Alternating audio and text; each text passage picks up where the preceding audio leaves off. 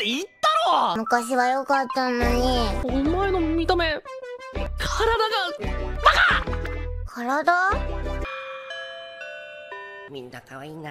もうなんかぐったりだよ。ミクちゃん推し。俺も同担なんだよね。くだらねえ。ミクちゃんみたいな可愛い彼女が欲しいな。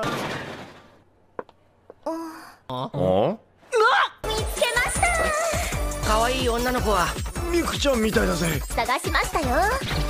もう裏切り行為だ。違う！小太郎ったら。ベタベタすんな！ひどいですよ。ベタベタひっつくなんて言い俺だからもう。二人ともこいつは彼女でもただのスライムだ！羨ましい。お前らの感性どうなってんだよ。女みたいな格好してんだ！小太郎可愛いって全然言ってくれないじゃない。だからアイドルを参考にしてみたんですリカちゃんの姿になってくれよ。リカちゃんみたいなのがタイプなんだろ？バカ言うな！いいですよ。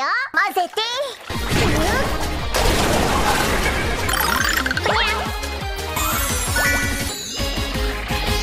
じゃじゃーん。お胸の量が多すぎましたか？中やお尻に回しますか？そのまま。ん？これが羨ましいんですか？みたいというか。試してみますか。早速